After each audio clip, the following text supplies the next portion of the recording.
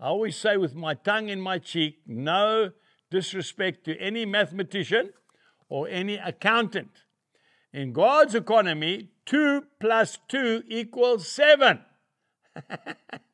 Why? Because He is a miracle working God.